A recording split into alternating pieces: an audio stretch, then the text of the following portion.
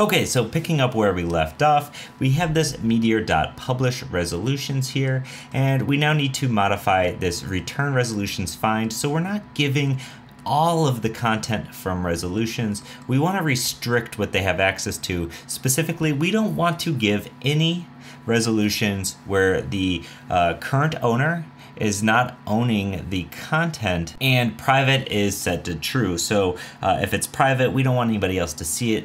But more importantly, we don't want to have anybody else to have access to it on the server side. So in this return resolutions.find, we can now pass it some options, right? So let's have a bracket here so now inside of this find, we're going to be using an advanced Mongo query. And to do that, we want to have a dollar sign or, and then colon, and then bracket. Okay, this is uh, not the curly bracket, this is the flat bracket. Okay, so inside of here, what we need to do is pass in a couple of conditions. So this is only going to return uh, in two types of cases. When the resolution is not equal to private. So to say that is we want to say private colon and then we want to have another curly bracket using the dollar sign NE, so not equal to colon true. Okay, so when private is anything other than true, and then let's have a comma here, and or we want to include it if it is the owner. So if, if you own the resolution, always show it. Or if it's public, then you can show it as well. So we can say owner colon. Now this dot user ID. So we now have this Mongo query that's looking for content that's private set to uh, not equal to true or owner that's set to this dot user ID. So let's come to our document here and you can refresh. You see we have public and private are showing up here. What happens if we check this out as a user who's not logged in? I'm gonna just put this in a incognito window and you can see the only one that we have access to is the one that's set to public.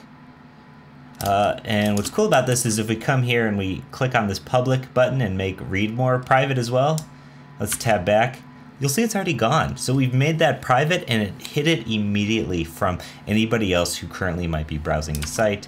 Uh, we can toggle back uh, either of these public private and you can see they're now back for our non-logged in users. Okay, so we're almost there. We have this public private thing going. It's pretty cool. You now have a little bit more information about how to use publish and subscribe. So instead of just publishing every single resolution, we can now have conditions on which resolutions the application has access to at any given instance. Okay, so let's go ahead and let's come back to our methods. We have these delete uh, resolutions, we have update resolutions, we have add resolutions. Uh, add resolutions should be able to be done essentially by anybody. However, delete and update these really should only be done by people who have the access to uh, modify their own content, right? So you don't want some just random logged in user being able to delete or modify your resolution. So just the same way we did this before, we first found one with the ID. So let's come in here. Let's do delete resolutions first. We're gonna do resolutions.findone.id exactly as it was. And we're going to say if the owner, uh, if you're not the owner, you can't delete it. So just like we had before, um, the resolutions find one if the current resolution owner is not equal to the current logged in user, don't allow them to do it. Okay? And once again, we're gonna have the same exact thing set to update. Uh, so I'm really just gonna copy these lines right here and paste it in just above our resolutions.update right here. And if all goes well, I'm gonna have my console log open on uh, this one and an incognito window. Let me do that. Okay, let's inspect element. We'll get our console.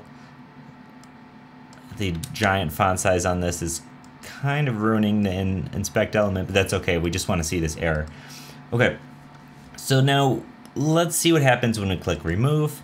We get error, delete resolution, not authorized. Let's click update.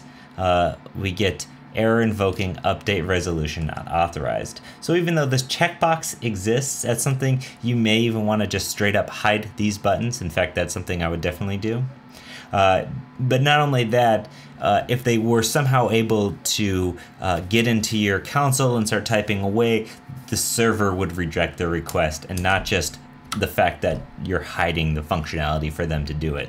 So now that the server is blocking it, let's go ahead and just add this is owner and let's wrap the is owner just around this checkbox. And let's go ahead and add another is owner around this delete button.